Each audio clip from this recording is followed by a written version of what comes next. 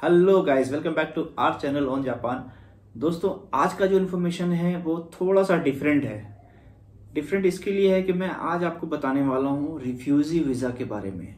जिनका भी status refugee visa का जापान में है, उनके लिए वीडियो बहुत यूजफुल होगा। तो आप वीडियो को ध्यान से देखिएगा और बातों को समझिएगा कि अब जो है जापान में जिनके पास रिफ्यूजी वीज़ा है वो रिफ्यूजी वीज़ा अब वो चाहे तो वर्क वीज़ा के साथ कन्वर्ट कर सकता है।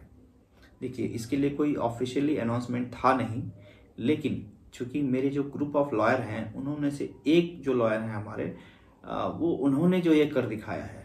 तो उनकी वजह से दो लोगों का जो है अप्रूवल आ गया। मतलब जो रिफ्यूजी वीज़ा पे था, वो रिफ्यूजी वीज़ा वाले का अब नॉर्मल वीज़ा हो गया। यानी कि उसको बिज़नेस वीज़ा बना दिया गया। तो ये आपका भी हो सकता है मैं आपको उनका नंबर दे दूँगा और उनका ईमेल एड्रेस दे दूँगा तो आप उनसे डायरेक्ट कांटेक्ट कर सकते हो, डायरेक्ट मिल सकते हो। दैट इज़ चार्जेबल जो उनके चार्ज होंगे वो आपको देना पड़ेगा।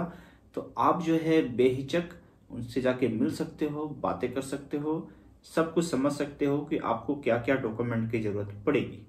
रिफ्यूजी वीज़ा बेसिकली आपको तो पता ही होगा कि शरणार्थी वीज़ा होता है।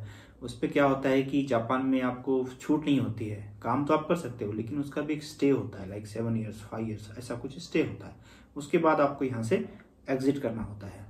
लेकिन जब आप बिज़नेस बिज़नेस में आ जाते हो या फिर आपका वर्क परमिट में आ जाता है तो फाइनली आप जापान में नॉर्मली जो वर्क परमिट वाले लोग रहते हैं सेम वैसा ही रहता है।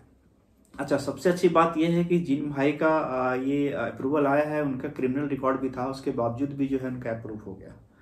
तो बहुत अच्छी बात है। मतलब ऐसा मत सोचना कि भाई आपका भी कुछ क्रिमिनल रिकॉर्ड हो और उसके बावजूद भी आपको अप्रूवल मिल जाए, ऐसा कोई ज़रूरी नहीं है। हो सकता है कि उसका क्रिमिनल रिकॉर्ड जो हो कुछ खास ना हो। तो खैर, ये इंटरनल प्रॉब्लम है। वो वेरी करता है कि आपका जो लॉयर है कितना स्ट्रांग है कैसे कैसे क्या क्या मतलब वो डॉक्यूमेंटेशन करता है आपका और कैसे कैसे जो है फील करता है और कैसे कैसे अप्लाई करता हो सकता है उसके कुछ कॉन्टेक्ट हो।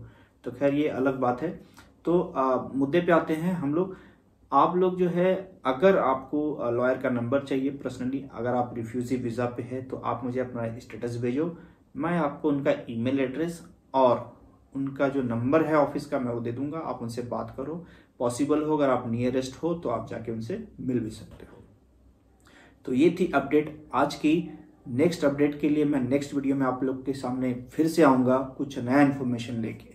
तब तक के लिए अपना ख्याल रखिएगा। और हाँ मेरे चैनल को सब्सक्राइब ज़रूर कीजिएगा लाइक ज़रूर कीजिएगा और अपने दोस्तों के साथ शेयर ज़रूर कीजिएगा।